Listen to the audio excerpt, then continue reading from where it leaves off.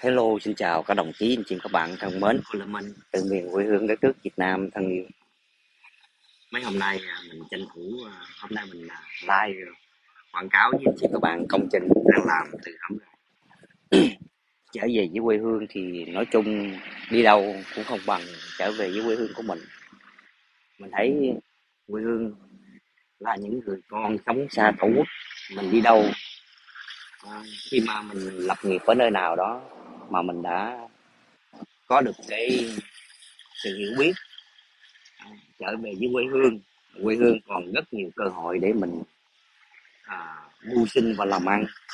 Tại sao mình không cầm vốn về quê hương để mình sống cuộc sống cho nó nó nó, nó, nó ổn định hơn ở trên quê nhà? Sang xứ người ta cài chuốt đầu tắt mặt tối chi cho khổ vậy. Đóng thế nộp thế rồi chạy theo những cái rồi dân chủ rồi ảo quyền rồi những cái thứ mà nó nó không có thật. Tôi nói anh chị các bạn con người ta những cái con người mà sống ở cái xứ tư bản nó giống như những cỗ máy những cỗ máy mà biết đi mà cái bọn tài phiệt ấy, nó nó nó nó program nó program vào trong nó nó nó lập trình vào trong cái cái ốc rồi cứ làm vô cái nó khen à, gặp nó cái hai how you ôi am đai gần chết. Nhưng mà tôi thì lúc nào cũng khỏe lắm. Cài đầu tắt mặt tối các bạn thấy không? Lúc nào cũng là tư bản là số 1 tư bản là nhất. Lúc mà thất nghiệp rồi bắt đầu mới thấy là à, cuộc sống nó gian khổ như thế nào. À, còn làm ra tiền thì cái gì nó cũng được. À, cái xứ tư bản nó vậy khi có tiền thì con người ta cảm thấy giống như là mình là vua một cõi à, mình là số một. À, muốn mua gì cũng được mà mà trong khi đó về mua thì lúc đó nhiều khi cũng không xài được. Mua nó làm cho con người ta chạy theo nhưng mà ở quê hương các bạn thấy à, trở về với quê hương mình thấy tuy rằng mình cũng tranh thủ bận rộn à, đây là con đường mình à, đúng là sức người sỏi đá cũng thành công. Con đường này mình đã dậm cả ngàn cây cừ xuống rồi đó. Và không biết bao nhiêu đất nó từ một cái ao đầm mà mình đã các bạn thấy đó. Lúc mới về mình tranh thủ đổ bê tông đồ dữ dằn lắm. Một bữa nay mình đã làm được như vậy. Mình đã dầm biết bao nhiêu cừ. Thì bây giờ nó đã cứng cáp rồi. Đó. từ đây bắt đầu là mình sẽ à, cố gắng à, để đặng mà làm cho nó hoành tráng hơn. Đó. Rồi bắt đầu mình sẽ làm từ từ bước một cái ao vuông để nuôi cá. Rồi à, cuộc sống nó mưu sinh bắt đầu từ từ thôi. Nói chung thì sống ở đâu cũng phải làm nhưng mà có nhiều người họ đi qua qua xứ tư bản rồi bắt đầu tôi thấy phần nhiều người. Họ họ, họ nghĩ uh, là họ đã lên được thiên đàng rồi. Tôi thì không nghĩ như ở Việt Nam mới là số một tôi nói không phải về Việt Nam là mình ăn chơi trụy lạc là, ờ, là, là, là, là gì, gì những cái đó mà mình cho đó là số một tôi nói.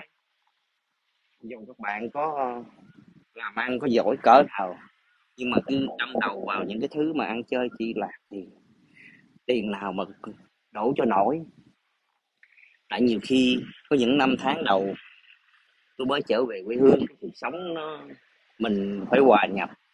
Nhiều khi mình chưa có hòa hiểu và mình chưa có hòa đồng được, mình mình dấp phải cái này cái nọ trong cái cuộc sống.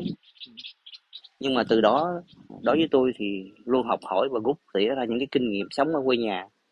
Tại mình sống xa tổ quốc lâu năm, các bạn thấy trở về học hỏi rất là nhiều. Chứ không phải là nghĩ là, ôi, tôi là ra nước ngoài, tôi có được ờ, mớ tiền đó, tôi quay về Việt Nam, tôi là giống như ông trời con tôi thấy có nhiều ông về hứa hẹn đúng. Có ông thì hứa cho năm ba tỷ hai ba tỷ. Rồi nào là cách ờ, học sòn rồi rồi nào là tiền đô rồi nào là tôm hùm rồi nào là à, đi du lịch lịch rồi tôi thấy tôi thấy mà tôi thấy ớn chờ đậu cái cuộc sống mưu sinh mình phải Ờ, gọi là an cư thì mới lập nghiệp. Đây thì các bạn thấy từ những à, năm tháng đầu khi tôi trở về với quê hương cũng vậy cũng phải rất là vất vả anh chị các bạn.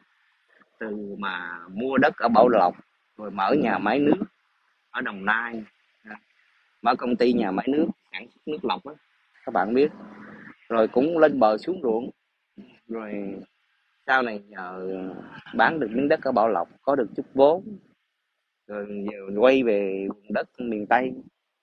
Các bạn thấy lần này mình dậm chân ở đây để uh, tiếp tục để đặng mà phát huy cái cuộc sống. Cho nó uh, hoàn chỉnh hơn. Tôi là người thích học hỏi. Mình đi từ những cái sai lầm rồi mình uh, mình mình mình học hỏi và mình vươn lên. Chào anh nghĩa chào anh chị các bạn trong diễn đàn. Chứ không phải Ừ. tiếp tục dẫm lên những cái sai lầm. Nhưng mà cuộc sống thì ai cũng có những cái nan đề từ trong gia đình cái bản thân.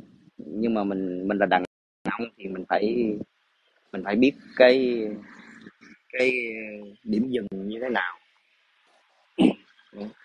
Cho nên tôi chỉ khuyên số anh chị, các bạn là những người mà gọi là kiều bào đó có cái tâm nguyện trở về về với quê hương đó, thì mình phải tính toán cho kỹ lưỡng.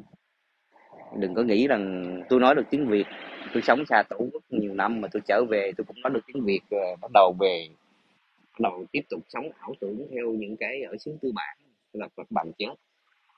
Là các bạn tiêu nếu mà tôi mà mà không có cẩn thận giờ này tôi ôm đồng máu chứ không phải giỡn. Tôi nói tôi không sợ chính tôi không sợ pháp luật Việt Nam. Bởi vì tôi là người sống luôn luôn tuân thủ pháp luật và mình học hỏi pháp luật để đặng mà mình phải thượng tôn và mình mình là phải là một cái người công dân uh, sống đúng theo pháp luật hiến pháp của Việt Nam. Chứ không phải là mình trở về Việt Nam là, là mình ý lại rồi mình làm trời làm đất các bạn thấy không? Thì uh, rất là nguy hiểm. Cho nên uh, Ờ, tôi cũng khuyên các bạn là những người sống xa tổ quốc, hoặc khi trở về cầm đồng đô la trở về như vậy. Đừng có quăng qua cửa sổ rồi như là ta đây hứa hẹn. Ờ, dẫn em đi chơi rồi cho ăn tôm hùm cua biển rồi. Dài ba tỷ rồi hứa hẹn đủ thứ. Nhiều khi tôi ngồi tôi ăn, tôi nhậu với một số người, tôi ngồi tôi thấy mấy ông mấy ông kiều bào bên kia nào là em qua bên đó thì anh sẽ mua cho em một cái nhà to, nhà bự. Tôi nói các bạn, nó ảo lắm. Cái cuộc sống mưu sinh như vậy nó ảo. Mình cứ sống thật thôi, đồng tiền mà. Mồ hôi nước mắt. Các bạn thấy ở quê nhà những người người ta cũng cố gắng, những thanh niên trẻ gì họ cũng ờ, tranh thủ làm. Trong cái tình hình kinh tế khó khăn toàn cầu, các bạn thấy uh, cuộc sống mưu sinh những người mà lao động ở những cái xứ tư bản thì họ đi làm cho công ty thất nghiệp thì họ cũng rất là vất vả chứ không phải. Các bạn đừng nghĩ ở Mỹ thất nghiệp là mình được hưởng cái tiền thất nghiệp là ngon đâu. Nó chỉ đủ cầm hơi thôi. Tại cái tiền đó cũng chính bản thân mình đóng vào mới có chứ không phải không có. Còn Việt Nam ờ, thì có một số người họ không họ họ, họ thất nghiệp. Tại vì trong vấn đề tình hình ờ, À, thế giới nó khó khăn uh, trong vấn đề công ăn việc làm một số xí nghiệp nó đóng cửa thì họ trở về quê. Họ trở về quê thì họ lao động mưu sinh công việc làm cũng rất là nhiều anh chị các bạn. Họ không làm cho xí nghiệp nữa thì bắt đầu họ trở về phụ người thân uh, làm về bên nông nghiệp và những cái cuộc sống ở xã hội hàng ngày. Nó cũng nhiều lắm chứ không phải là ít ngay cả giờ tôi đi tìm mà thuê người làm cũng rất là khó chứ mà giờ. Tìm một người mà làm trả hai ba trăm ngàn ngày các bạn biết. Ừ, cũng cũng phải đi kiếm. Thành ra ờ, cuộc sống ở đâu cũng phải mưu sinh thôi. Thì mình chỉ uh, chia sẻ để chúng ta cùng nhau mà uh, phấn đấu và vươn lên. Chứ không phải là tự hào hay là kiêu ngạo cái gì cuộc sống mà. Cái gì nó cũng phải trả cái giá của nó. Nhờ trả cái giá của nó mà mình mình trở thành một người có cái kinh nghiệm sống nó nó nó tốt hơn. Đấy.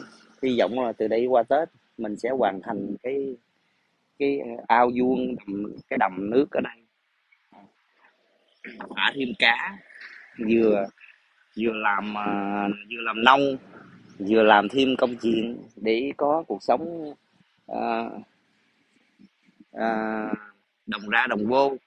Chứ đâu phải ý là mình bên kia mình về mình cầm đô la là mình là là ngon đâu anh chị các bạn. Tôi nói chị các bạn. Các bạn mà về Việt Nam mà cầm ý mà cầm đồng đô la là uh, đi ra là cái gì cũng uh, hứa người này vài tỷ người kia vài tỷ là chết đấy. Chứ không phải là giỡn đâu.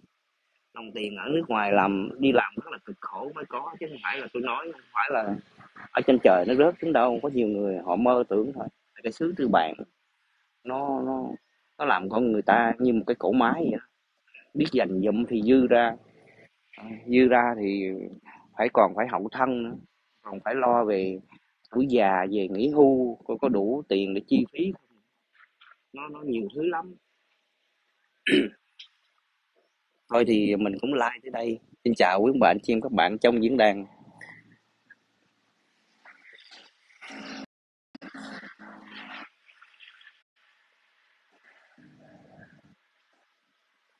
Bye bye. Bye bye bye bye bye bye bye bye. Bên đây mình đen đen thù lùi có nhiều người nói mình đen giống như ông nông dân vậy. Mình cũng dân nắng dân noi cũng làm suốt anh chị các bạn à. hôm qua thì phải thức dậy từ 4 giờ sáng để đặng mà người ta à, tới làm nền đất đồ này kia để đặng phụ công việc. Mới có hai giờ mấy sáng nó nó gọi mình rồi. Thành ra phải lao động lao động là vinh vang mà mình phải đổ mồ hôi sót con mắt tạo ra cái vật chất thì đó nó mình cái cảm thấy cái giá trị nó mới mới quý. Xin chào anh chị các bạn nha. Bye bye bye bye bye bye bye bye